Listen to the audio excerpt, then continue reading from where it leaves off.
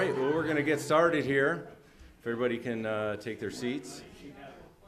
And good morning. Beautiful, beautiful, snowy, peaceful morning. Peaceful Sunday morning. We're going to sing a few very peaceful songs, actually, so it's kind of quite fitting to the to the mood outside.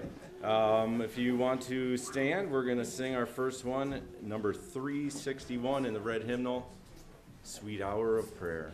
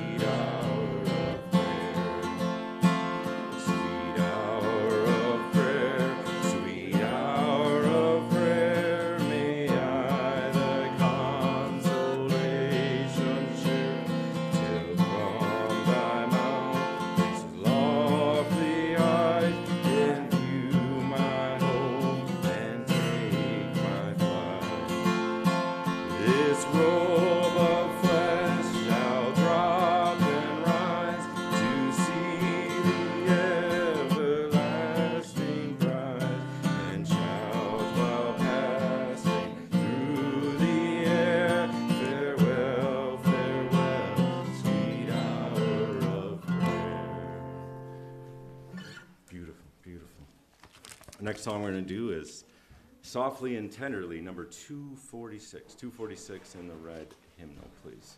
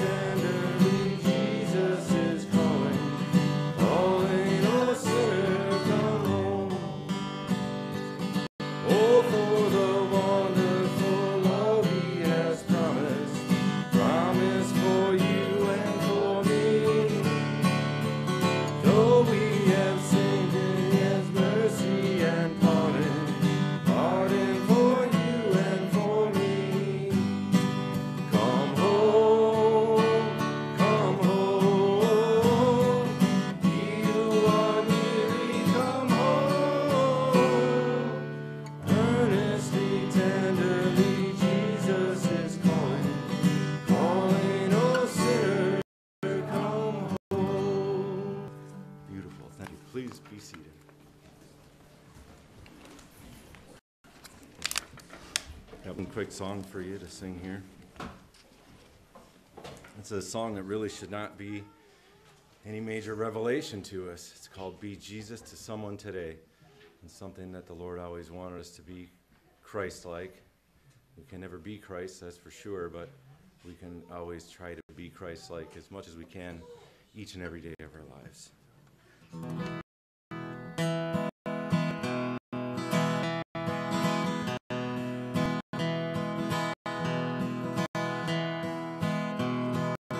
traveling on in this world, our treasures are few. Always one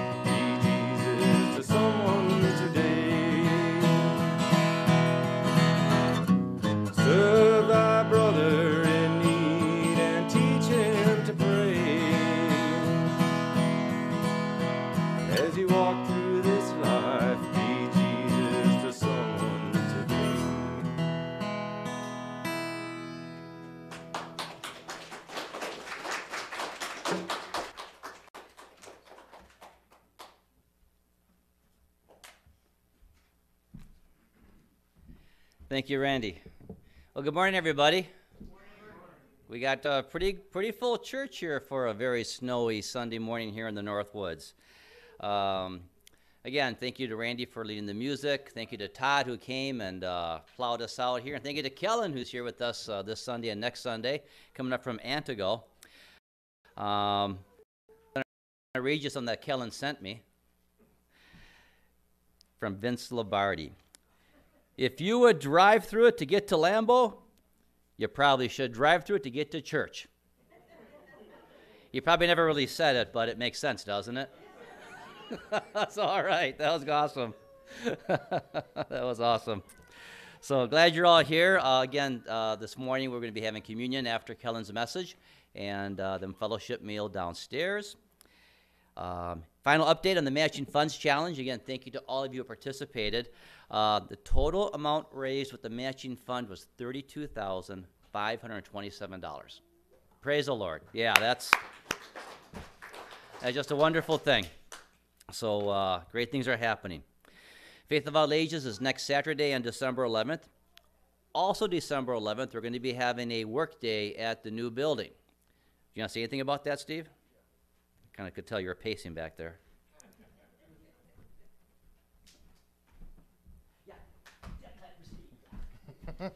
I got one fan. All right. Uh, yeah, we're gonna have a work day this coming Saturday. Uh, a lot of stuff that we're trying to get done. Um, guys who've got tools, bring them. If you don't have any tools, uh, come anyways. There's grunt work to do.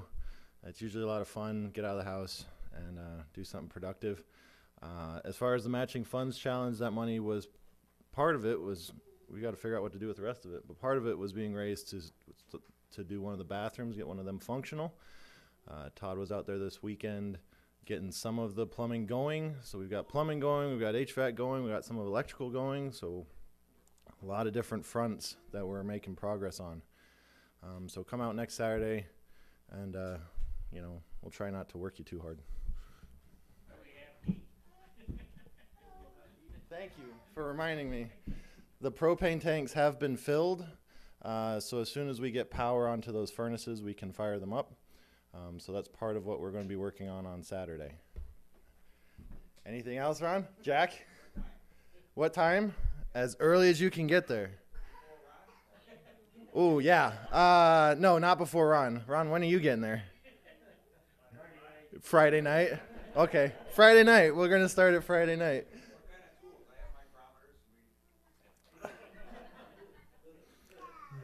See, see, Mark, Jack is talking about bringing micrometers. I just use a tape measure.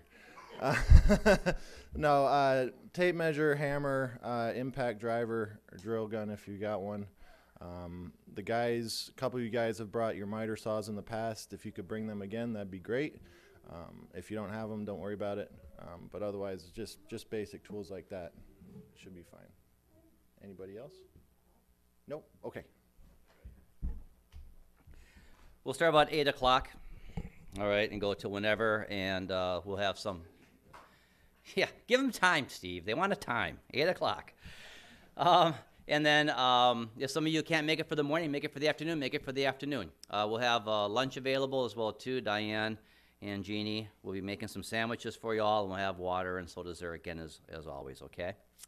So great, thank you for that. I'll be putting out a, uh, a one call now on that, and we kind of want to get an idea who's going to be there. So let Steve or myself know. Well, probably let me know, and I'll let Steve know, um, since I'm a little bit more reachable.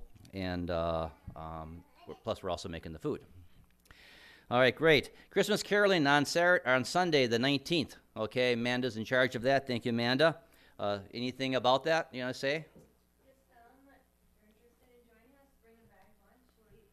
All right.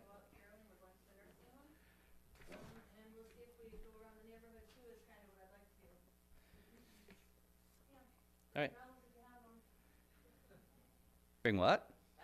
Bells. Bells. That's what I thought she said. All right, so bring lunch and bells.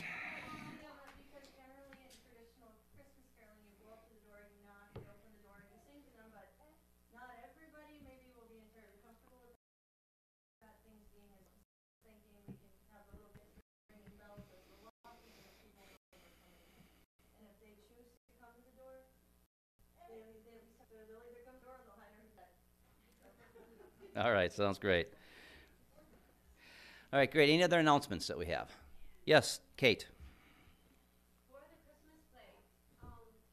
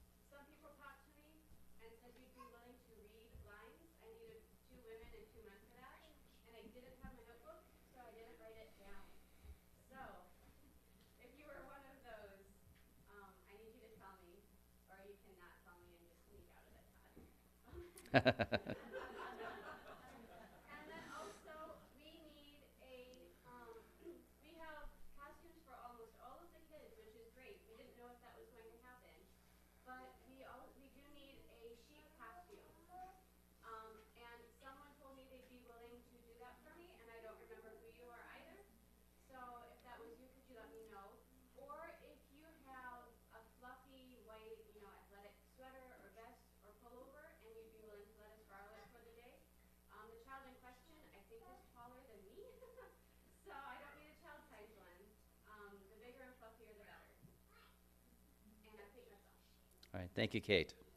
Very good. Any other announcements? Yes, Jeannie? Um, I just wanna say, a lot of, we have a lot of food downstairs, so even if you didn't bring food, please come and join us. All right, if you didn't bring food, come and join us. We can have seconds, right? All right. Good. Any other announcements? All right, hearing none. Um, any prayer requests, needs, praises that we have this morning that we want to offer up? Yes, Josh. I have a student whose father passed away uh, Um, at Josh.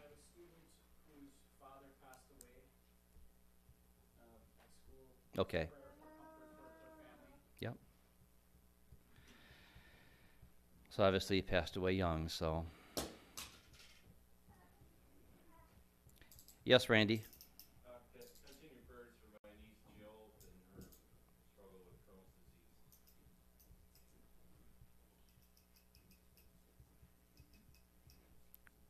Got it, thank you. Anything else? Anybody else? Oh, hi, there you are. I think we should probably keep praying for Kate Samuelson's grandson and his wife who lost their little baby. Yeah.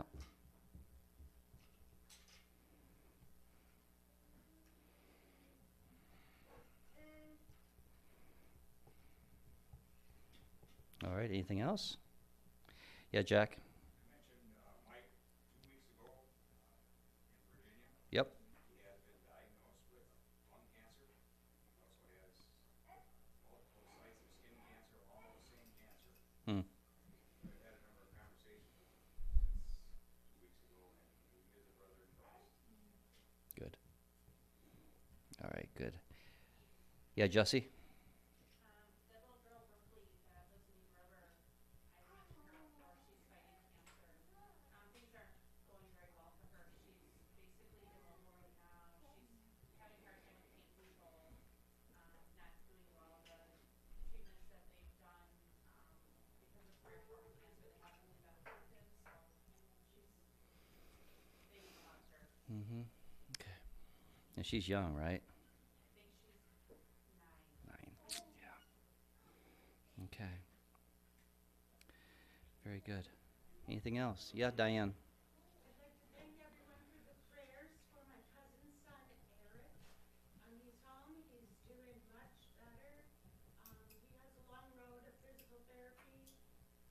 um, he's in good spirits. Good. Amanda? Oh, yeah, little buddy. What's up?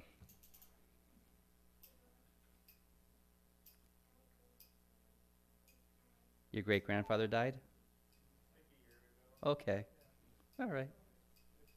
Still hurts. Yeah. What's his name? Little boy. Peter? Okay. Okay. All right, let's go to the Lord in prayer. Father God, it's, it's, it's great to gather here this morning. You know, in some ways, even having to travel here through, uh, what, about six inches of snow, I guess we've had this morning, and Kellen coming all the way from Antigo, and just us coming from our homes. It took an effort to get here. And, um and we're glad that we're here because you are worth the effort. And Father, you, in our lives, you are constantly in action. You're constantly working within our lives. even giving us miracles that we don't even know are happening or that have happened. How you provided for us, protect us, keep us from harm. And Father, I pray over this body of believers right now, Lord. Ask your divine protection over each and every one, their families, their households. Hedge your protection around them from the enemy, Lord. And from this church as well, too, Lord God, as we spoke about earlier in our in our uh, announcements, as we're looking forward to the day when we'll be in the new building that you'll be that you provided for us. To use that in a way that will magnify and glorify you and the Lord Jesus Christ in amongst this neighborhood, in this community, in this area. We pray that as Randy sung his song, Be Jesus to someone today. Father, keep us in, in mind through the Holy Spirit of those divine opportunities, those divine appointments, those times when we can share the love of Jesus with somebody, share the light with somebody, to share the truth with somebody. I think, Father, of, of those in our families, in our neighborhood, in our friendship circle, our work circle, of those who do not know you as Lord and Savior. Each, each of us has someone in mind. And Father, I just want to take a second or minute here and just quietly would ask that we'd all lift up to the Lord right now the name of one or two people who are in your lives who need the Lord Jesus in our life. We want to lift their names up to you right now, Lord.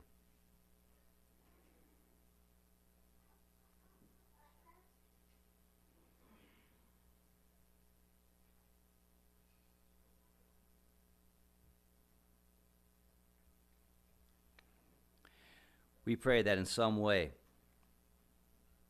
in your way, whether it's through a, another fellow believer, whether, whether it's through a tract, whether it's through a Bible, whether it's through something on the radio or the television that they are passing through, channel surfing, all of a sudden come across something, Father, that is, that is orientated toward sharing the truth of Jesus Christ. That, Father, that these people who we lifted up to you right now this morning, we become part of your family through Christ. Father, this world is a world of, of toil. This world is a world of, of, of suffering and of hardship. We thank you for you who helps us through these things, who gives us that peace that surpasses understanding. Father, we lift up to you right now uh, the student of Josh's who's, uh, who lost her father. So Father, we pray for that family, lift them up. Randy's niece Jill, who is suffering with Crohn's disease.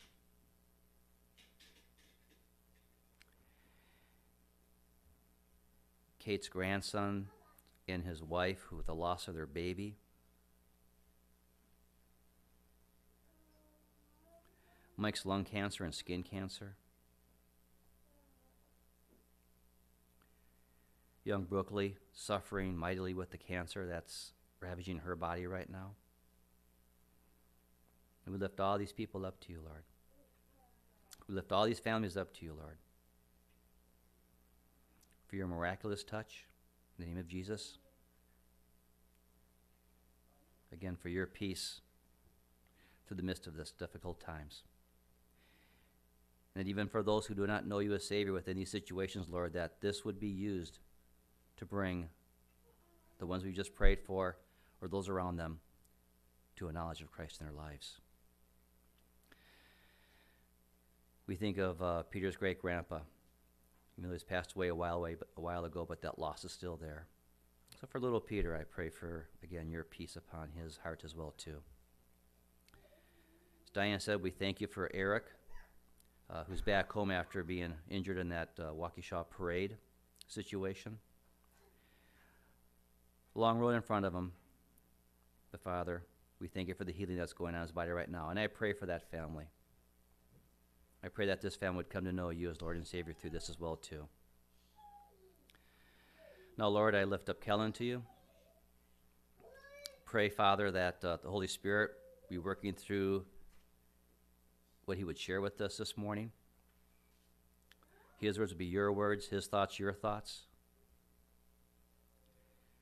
Put a hedge around his, his time of speaking to us this morning to keep the enemy from throwing anything that would not be of profit or value.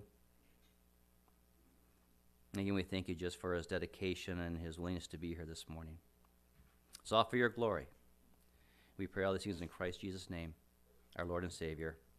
Amen.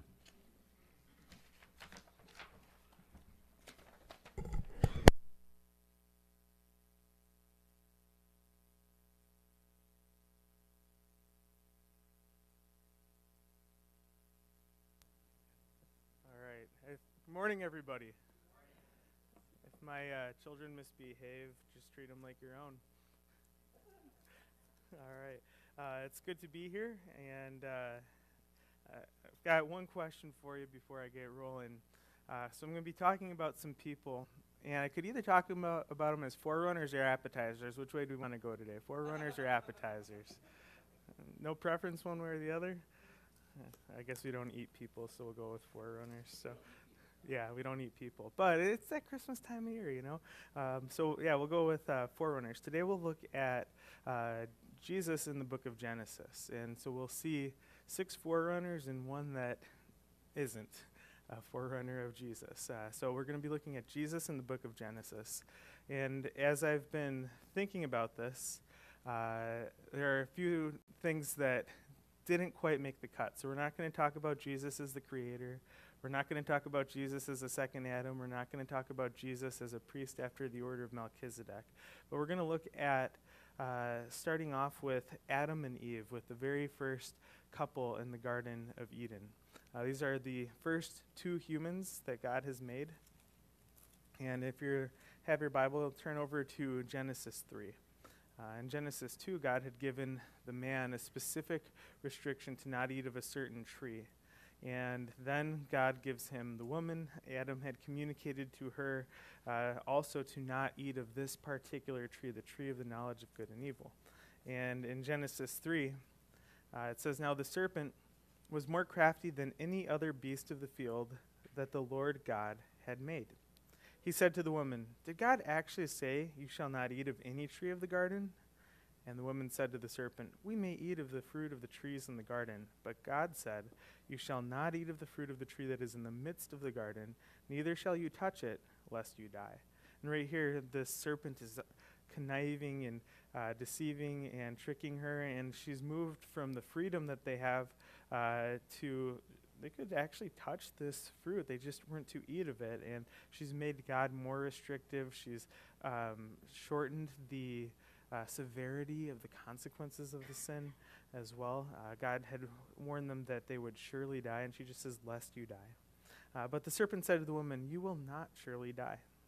This is uh, a very direct lie. Uh, God had promised they will surely die, and he says, You will not surely die. So it's gone from you will surely die lest you die, you will not surely die. The deception is uh, taking root here. For God knows that when you eat of it, your eyes will be open and you will be like God, knowing good and evil. So, when the woman saw that the tree was good for food, and that it was a delight to the eyes, and that the tree was desired to make one wise, she took of its fruit and ate. And she also gave some to her husband who was with her, and he ate. And the eyes of both were opened, and they knew that they were naked. And they sewed fig leaves together and made themselves loincloths. And they heard the sound of the Lord God walking in the garden in the cool of the day. And the man and his wife hid themselves from the presence of the Lord God among the trees of the garden. But the Lord God called to the man and said to him, Where are you? And he said, I heard the sound of you in the garden, and I was afraid because I was naked and I hid myself. He said, Who told you that you were naked? Have you eaten of the tree of which I commanded you not to eat? And the man said, The woman whom you gave to be with me, she gave me fruit of the tree, and I ate. Then the Lord God said to the woman, What is this that you have done? And the woman said, The serpent deceived me, and I ate. And I want us to focus on these next two verses here. Uh, it's really going to set up everything that we'll look at today. The Lord God said to the serpent. So this blame game has passed the baton of who's at fault from Adam to Eve to the serpent. And now God addresses them in reverse order. In verse 14 and 15 is vital. Uh, this is the first promise that we have. We've gone from everything being very good, people being very good, basically a perfect world, to a fallen world, a world that's been marked by sin, a world that has had death introduced to it.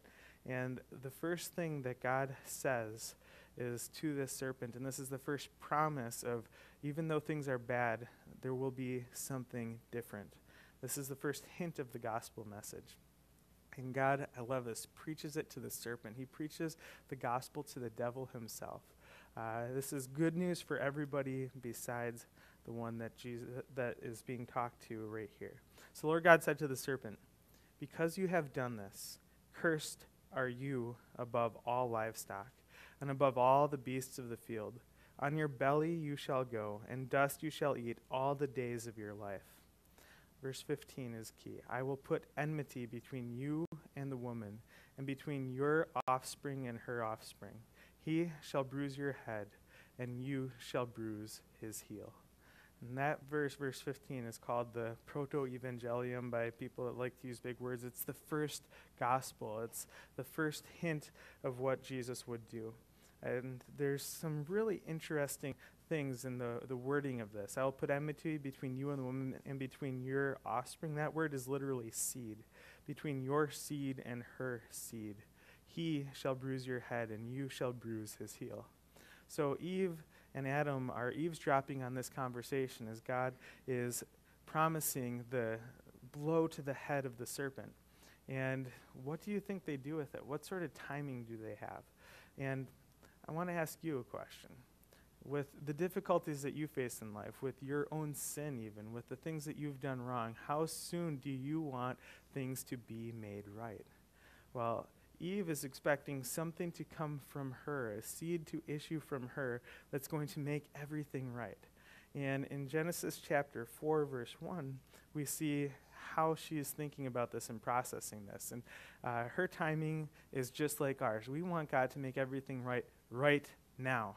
So in Genesis chapter 4, verse 1, we see forerunner question mark number 1. Uh, in Genesis chapter 4, 1. Now Adam knew Eve, his wife, and she conceived and bore Cain, saying, I have gotten a man with the help of the Lord. Here he is. I've got a man. Finally, we've got him. Uh, interestingly, in verse 2, it doesn't mention some of the things mentioned in verse 1. It doesn't mention Adam knowing his wife again. It doesn't mention conceiving again. It just says, and again she bore his brother Abel. Uh, so we've got one conception, two boys. So they're most likely twins, uh, Cain and Abel. Uh, the first, she celebrates. She's looking for God to deliver on this promise to crush the head of that serpent. And she's so excited when she's got the first boy. And the second one doesn't really matter because she's going to get salvation right then, right there through Cain in her own expectations. She's gotten this man that's going to crush the head of the serpent. Well, that's what her hope was in reality, as you go through chapter 4, what you'll see is that these two boys end up kind of being rivals, and one loves the Lord with a pure heart, and one doesn't. And Cain is the one that doesn't. He's kind of jealous of Abel, and he uh, comes to this point where they offer sacrifices before God, and God accepts Abel and his sacrifice, and God rejects Cain and his. And God warns Cain to have some self control, and Cain refuses, and he gets furious, and he murders Abel, his twin brother. The end result of all of this is uh, that this boy that Eve had hoped in is a total disappointment. He's not even in the line of Noah or you or me. Uh, his entire line ends up being wicked people that are all wiped out in the flood of Noah. But God is gracious. And so, even though Cain ends up not being the one uh, God is still gracious. And, and we need to step back and look at our own lives too. Uh, when we face difficulties, there is someone who is the solution to our sins, and that is Jesus. Uh, but sometimes we try to work it out on our own way. Now, you've all been taught good gospel uh, teaching for many, many years here, right? Uh, so you're not going to come out and say, oh, I'm trying to earn a right standing with God or anything like that. You're not trying to earn your salvation. But functionally day to day when you screw up, don't you try to go and make it right? Don't you try to find your own solution? Eve was looking for salvation in the wrong place. She was looking for it in Cain, and he wasn't even in the right category. He was a bigger problem, and he was a murderer, and it ended up totally backfiring. But here's God's mercy. In Genesis chapter 4, verse 25 and 26, we see an actual forerunner, and this is forerunner number one. Verse 25 and 26 it says, And Adam knew his wife again, and she bore a son and called his name Seth. And the word Seth means appointed. For she said, God has appointed for me another offspring instead of, notice here, went from Cain is the important one, Abel's inconsequential. She says here, God has appointed for me another offspring instead of Abel, for Cain killed him. To Seth also a son was born, and he called his name Enosh. At that time, people began to call upon the name of the Lord. So here's our first forerunner, and this is Seth. And Eve is recognizing that this one has been appointed for something, something that Cain couldn't do, something that Abel, by being dead, he can't do. It must be through this one that God is going to deliver on the promise. And there's two sides to that. On the one hand, Seth isn't the one that's going to deal the crushing blow to the head of the serpent. But on the other hand, it is through Seth, it's through him and through his line that we're going to get Noah and Abraham and Isaac and Jacob and Joseph and David and Jesus. It's going to be through this boy. So he was appointed. Uh, so Eve at least has gone from looking for salvation in the wrong place to just having the wrong timing on it. How many of us want God to make everything right right now? I talk to people that uh, are angry at God. Some are atheists, and there's atheists that have like really intellectual reasons for not believing in God. And then there's the more common atheists that I run into that are angry at God. And so I'm going to not believe in Him because I'm angry at Him because something bad happened. This is called the problem of evil. And if you stop and think about it, what is it that we're expecting of God? We're expecting God and if we're in that sort of a mindset, we're expecting God to make everything perfect right now. And what would be involved with God making everything perfect right now? Getting rid of everything imperfect. Who's imperfect? Right?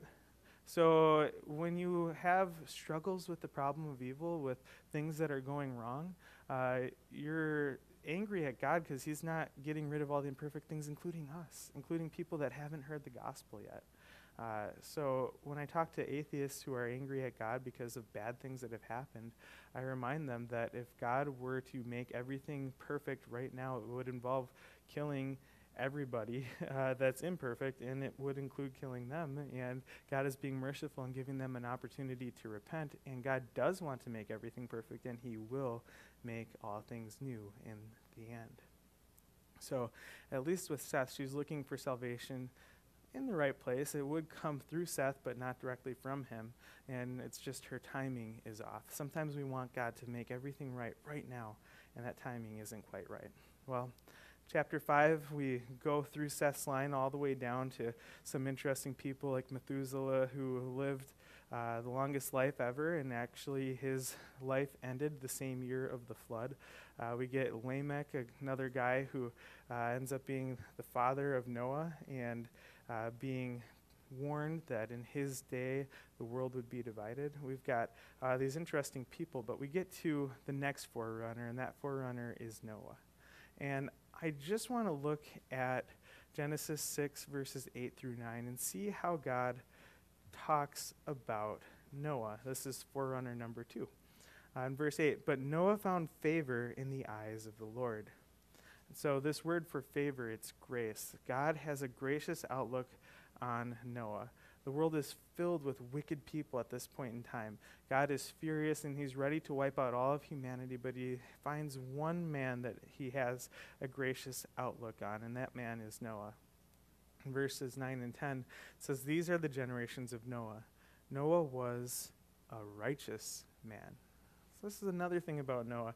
He does find grace in God's eyes. He had some sin where God had to show favor to him, but he was a righteous man compared to all the other people in the world. He was perhaps the most righteous man alive. It, he is described as being blameless in his generation. Noah walked with God. So his conduct is right, his spirituality is right, he's in a relationship with God. And Noah had three sons, Shem, Ham, and Japheth. So these, uh, this man, Noah, sticks out for his righteousness. Noah is another forerunner of Jesus. He found favor in God's eyes. He's righteous. He's blameless. He walked with God. And um, this is the next one that we're looking to. Is, is he the one? Is he the one that's going to crush the head of the serpent? Uh, in some ways, yeah. was the guy that builds the boat that rescues the only righteous people on the planet. Uh, everybody else ends up being wiped out. This is a blow to those that are opposed to God. Doesn't ultimately crush the head of the serpent. And so we keep looking for the next one. And by the way, Noah isn't perfect. Noah, when we get to uh, coming off of the ark, he gets drunk and some bad things happen. And uh, so Noah is a sinner like the rest of us, but he received God's grace, and compared to the other people, he was righteous and he was blameless. But he foreshadows one who would be blameless, who would be truly righteous, who would have no sin whatsoever, and that one, of course, is Jesus. All right, so it's not Seth, it's certainly not Cain, it's not Noah. So, what about the next one? Uh, Genesis chapter 12, we encounter another very important person. In Genesis chapter 12, uh, verses 1 through 3. It says, Now the Lord said to Abram, this is our new guy, Abram, go from your country and your kindred and your father's house to the land I will show you. And look at this promise that God makes to this one man. And I will make you a great nation, and I will bless you, and make your name great, so that you will be a blessing. I will bless those who bless you, and him who dishonors you I will curse and in you all the families of the earth shall be blessed. Wow, this guy is going to be a blessing to the whole world, and through him, God is going to bless absolutely everybody on the entire planet. That is amazing. But then you look at his life, and this guy is a coward, and he lies and sets his wife up for some really awkward situations with some kings. And uh, Abraham uh, is a really important guy, uh, it's through his line that the whole world would be blessed. But he himself wasn't such a big blessing to everybody that he encountered. So God's plan to bless the whole world would go through Abraham and his descendants, but Abraham himself wouldn't quite be the guy.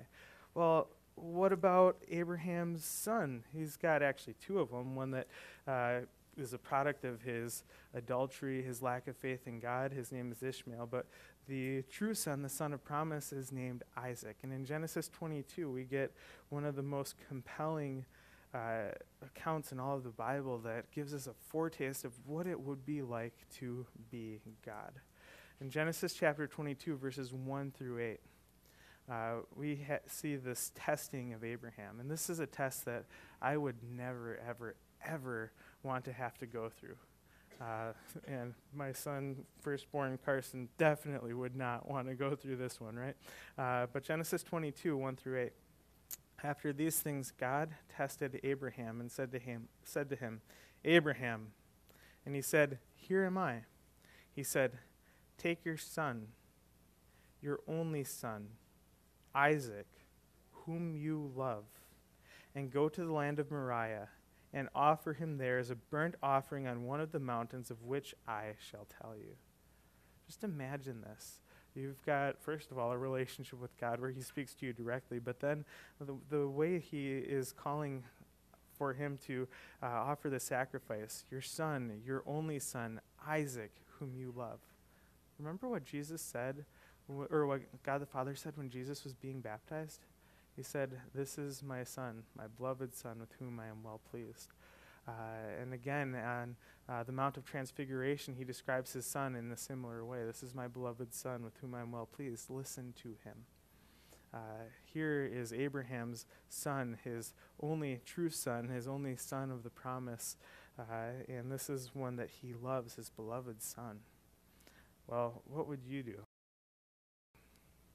I mean, if you decide to kill your son, that's generally not a good thing, but God's calling you to do it. So now you're in this place of your son that you've had this promise about for many years, you've hoped for, and miraculously he comes.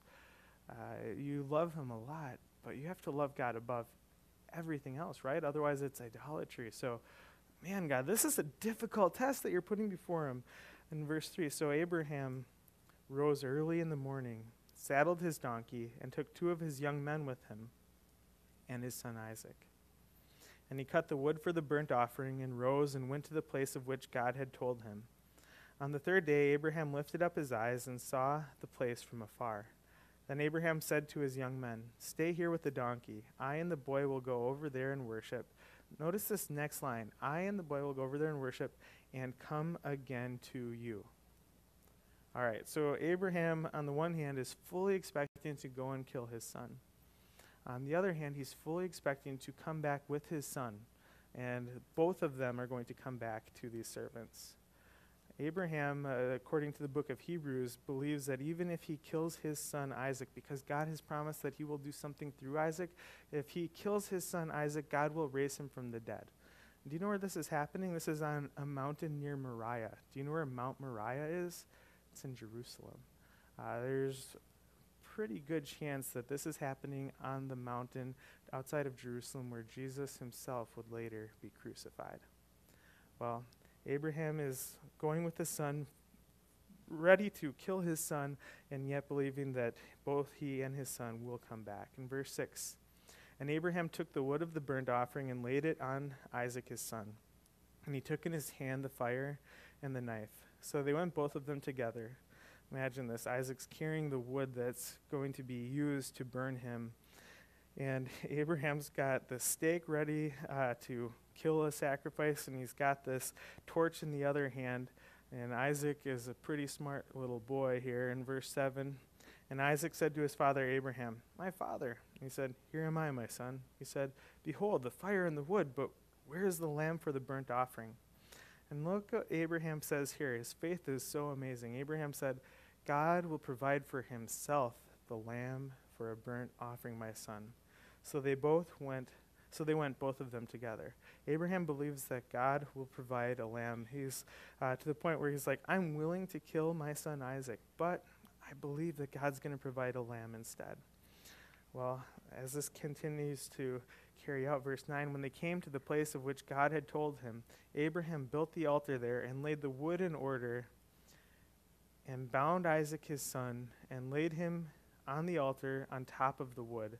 Uh, if you're Isaac, like, hey, what about that lamb? This would be a really good time. Uh, then Abraham reached out his hand and took the knife to slaughter his son.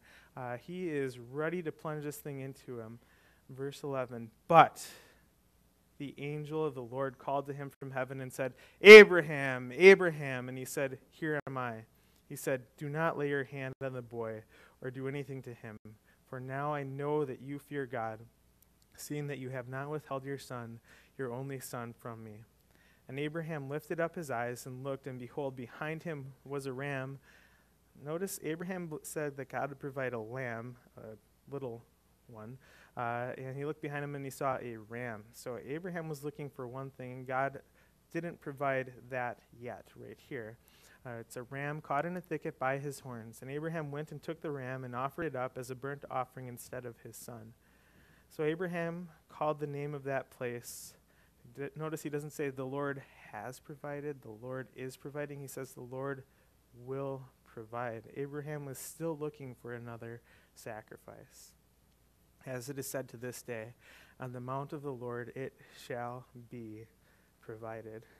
Probably on that same mountain, perhaps at that exact same spot, God's smart and knows all of history, uh, there would come a man about 2,000 years after this, and it would be God's own beloved son that would be right there. And when it comes time for him to be pierced, God doesn't say no.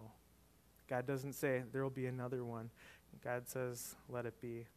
And his son was the sacrifice for our sins on Mount near Moriah in Jerusalem.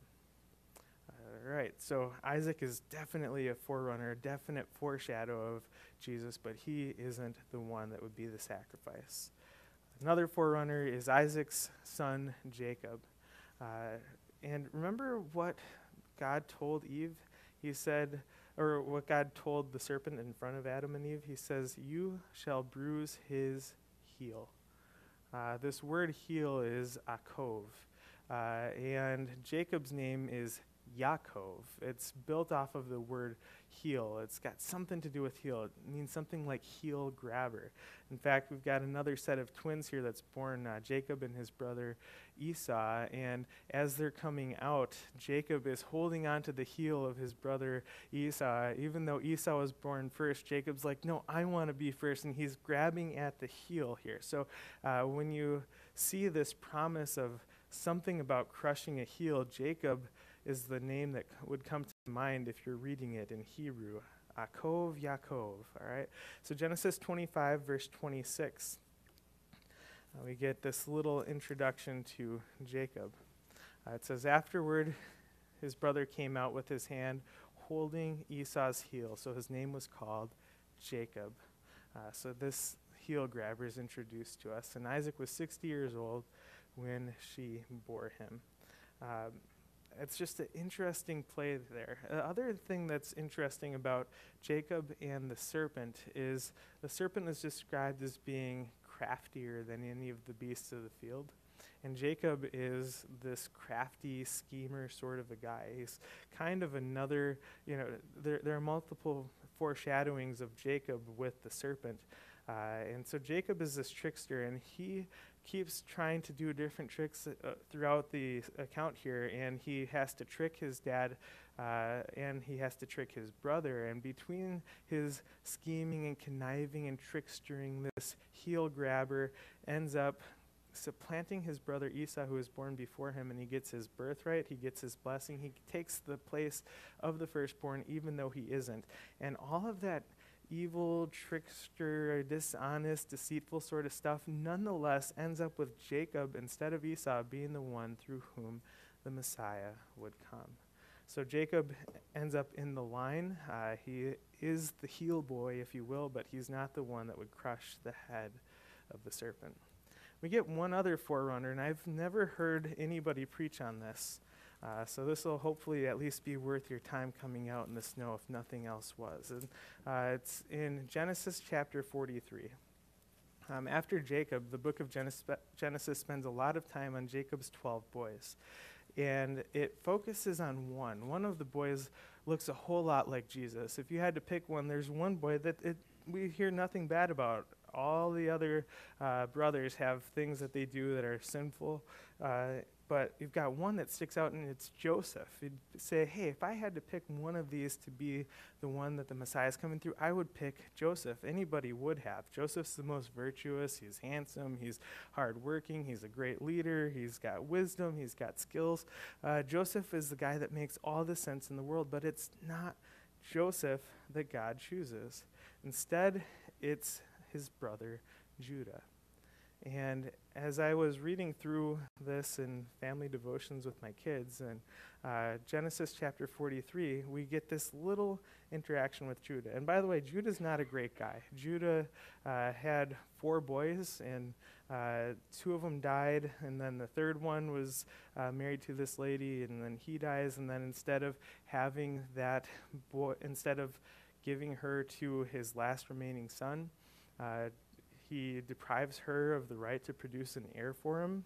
Uh, this is the one through whom uh, ultimately Jesus is going to come, is through Judah, and yet he is not allowing his uh, daughter in law to produce an heir. And so she's living as this single widow with him, and lots of immoral things end up happening, and Judah is at the heart of all sorts of wickedness, right?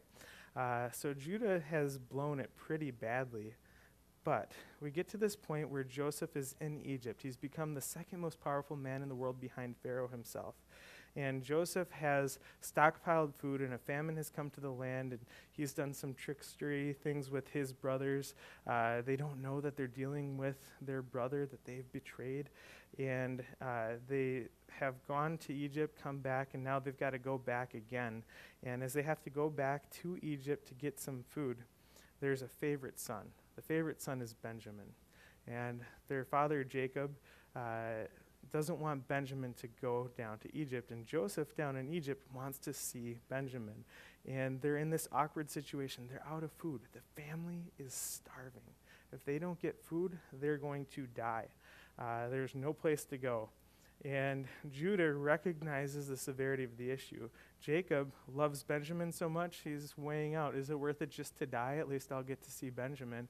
And Judah is thinking, mm, all right, so here's how they handle this conversation Genesis 43. Now the famine was severe in the land, and when they had eaten the grain that they had brought from Egypt, their father said to them, Go again, buy us a little food. But Judah said to him, The man, this is referring to Joseph, solemnly warned us, saying, You shall not see my face unless your brother is with you. If you will send your brother with us, we will go down and buy you food. But if you will not send him, we will not go down. For the man said to us, You shall not see my face unless your brother is with you. And Israel, this is Jacob's new name that God gave to him. Israel said, Why did you treat me so badly as to tell the man that you had another brother? They replied, The man questioned us carefully about ourselves and our kindred, saying, Is your father still alive? Do you have another brother? What we, what we could tell him was in answer to these questions. Could we in any way know that he would say, Bring your brother down? Look at what Judah says here. And Judah said to Israel his father, Send the boy with me, and we will arise and go, that we may live and not die. So he sees this must happen, and it's for the sake of life. It's so that this family that God is going to bless the whole world through doesn't die, but that instead this family can live. In verse 9, I will be a pledge of his safety. From my hand you shall require him. If I do not bring him back to you and set him before you, then let me bear the blame forever. If we had not delayed, we would now have returned twice. Did you see that? Judah has something within him where he says, This family must live. This family must not die. And because of that, I'm willing to put myself in the place where I will bear the guilt of this. If he dies, I die. I'm willing to be a substitute so that they can have life. That is the character of the one that would become the tribe that Jesus would come from. Judah is a foreshadow of one not like Isaac, who's put in a place of being the sacrifice, uh, kind of against his will, but Judah's one willing to say, if it comes down to it, I'm willing to be the sacrifice so that this family can stay alive.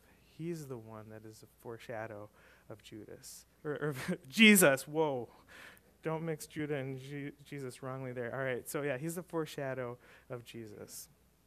So the bottom line is that while nobody in Genesis would crush the head of the serpent, many of them point compellingly forward to the one who would, namely Jesus Christ.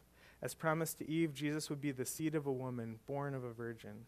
Unlike Cain or Seth, Jesus would come at the right time. Unlike Noah, Jesus would be 100% truly righteous and sinless. Fulfilling the promise to Abraham, Jesus would bless all the families of the earth. As promised to Isaac, Jesus would be the lamb that God would provide on the mountain of the Lord. As hinted at by that healer, heel grabber Jacob, Jesus would take the bruise on his heel. It ultimately would kill him. But he would rise on the third day, and his resurrection would deliver a blow to the head of the serpent who will spend eternity in the lake of fire. Like Judah, Jesus would look at the impending death of his brothers. He would look at those that his father loves, and he would say, like Judah, my life for theirs. There is one more promise in Genesis. Uh, as Jacob is on his deathbed, he blames each of his, or blesses each of his boys. When he gets to Judah, he makes this promise in Genesis chapter 49, verse 10. It says, The scepter shall not depart from Judah, nor the ruler's staff from between his feet, until tribute comes to him, and to him shall be the obedience of the peoples. Judah would ultimately be the one that would have the kingly line. It would be from Judah that you get David, and ultimately that we get Jesus. So there will be a time coming that will fulfill this promise that the whole world will come to be obedient to Jesus. And that's what we do and we're making disciples of all nations. We're preparing people to obey the king that would come through the line of Judah. Let's pray. Heavenly Father, we thank you that this season that some call Advent is a time uh, to think back on the first time that Jesus came to be with us and to look forward to the second time that Jesus will come again. And we long for him to be here. We long for him to make all things new. We long for all that is wrong to be set right. And we as Christians are setting our hope completely on that grace to be brought to you at the revelation of Jesus Christ. We long for the promises to be completely fulfilled of Jesus reigning as one with the scepter from Judah, as Jesus crushing the head of the serpent. And we we're longing for it. We're looking forward to it. And I pray that this season would be a time where we grow in our hope. Uh, I pray that we would also be patient and that we'd be busy about the work you've given us. We don't want Jesus to come back and make everything perfect and result in people that we love going to hell. So help us to be diligent about sharing the gospel of Jesus Christ until he returns. We pray it in his name. Amen.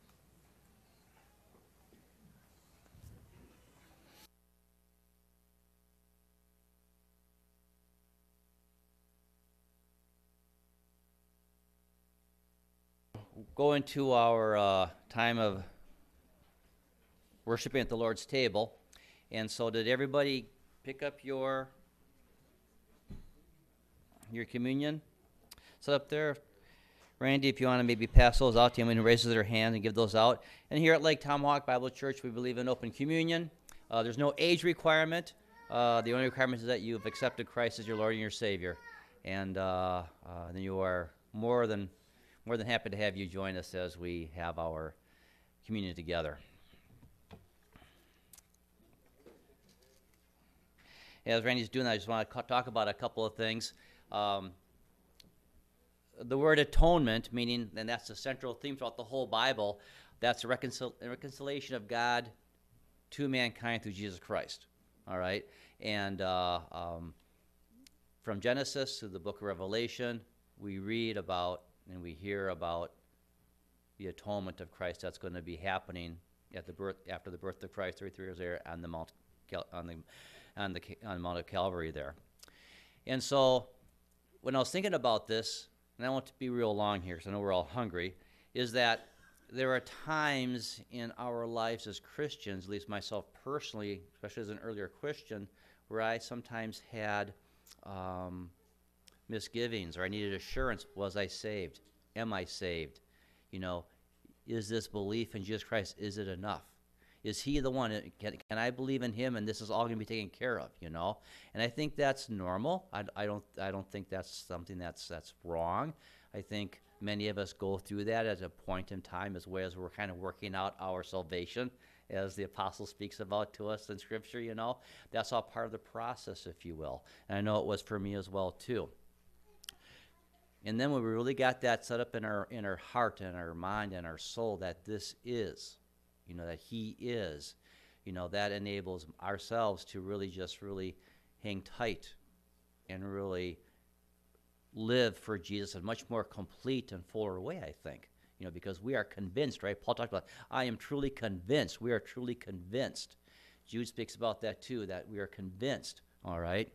And um, and Jesus is all that Kellen you spoke about this morning.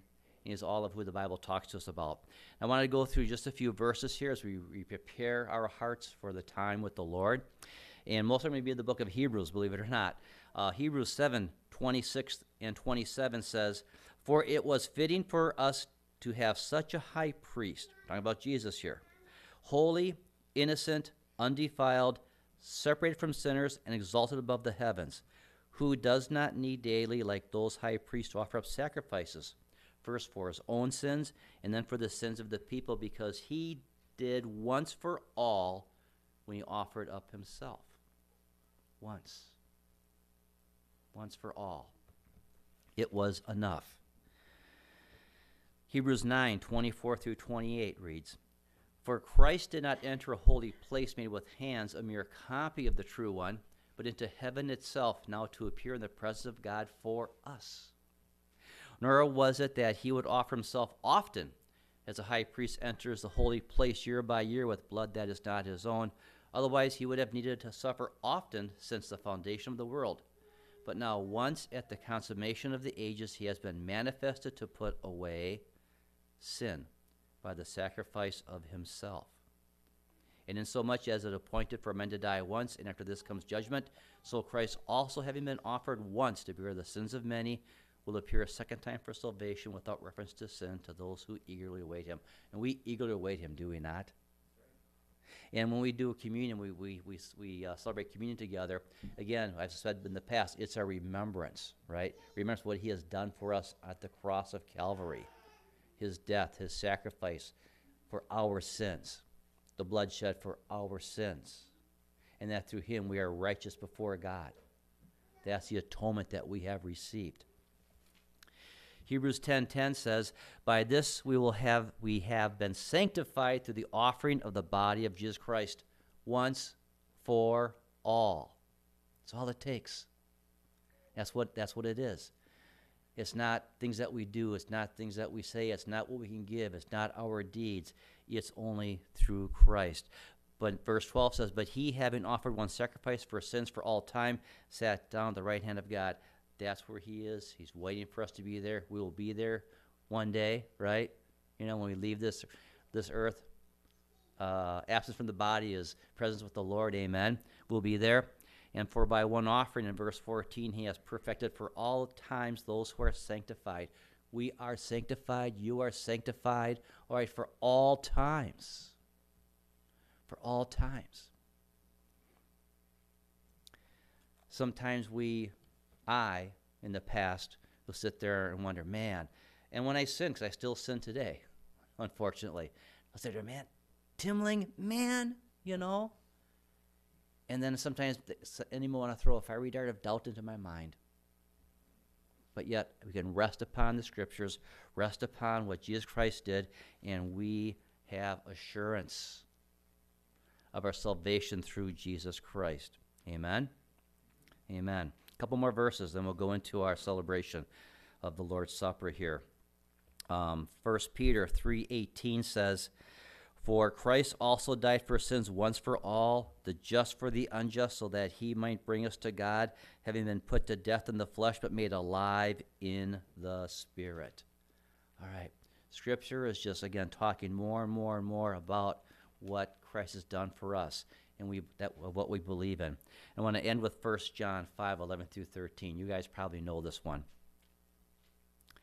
And the testimony is this, says John the Apostle, that God has given us eternal life, and this life is in his Son. He who has the Son has the life. He who does not have the Son of God does not have life. These things I've written to you so that you may, would believe in the name of the Son of God, so that you may know that you have eternal life. You accepted Jesus Christ as your Lord and Savior, you have eternal life. Know that. Rest in that. Even when the enemy throws fiery darts against us and has us doubting things, all right, rest assured. Scripture has just showed us here this morning and from what Kellen also spoke to us this morning as well too, that this is true. Let's celebrate the Lord's table together, shall we? So if you want to grab up your uh, your cup and wafer, we'll take all these together. So lift up the top seal to get that wafer. All right.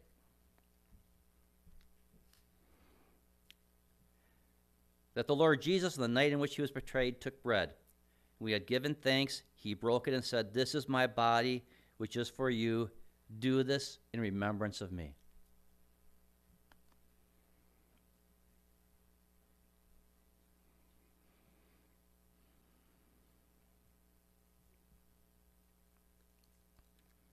Prepare the cup.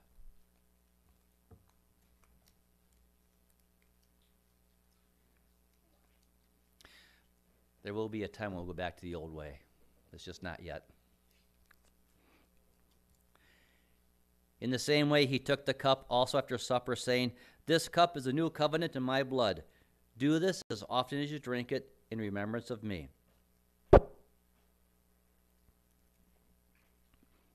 For as often as you eat this bread and drink the cup, you proclaim the Lord's death until he comes. Amen. Amen. All right. Randy, if you'd please come up and end us with a song. And then I'll come up and we'll just uh, bless the meal that we'll be having downstairs. Thank you, Randy. We're going to sing hymn number 100, O Come All Ye Faithful, in honor of our Advent season here. I just want to say thank you, Colin, for sharing the word of the Lord with us. And I always like story of Adam and Eve. It kind of takes me back to my childhood sometimes where we were going on a family trip and everybody's in the car and my dad's wondering what is she doing in there? My mother in the house. And i think back well man has been waiting for woman since the dawn of time. All right number 100 oh come all ye faithful is what we're going to do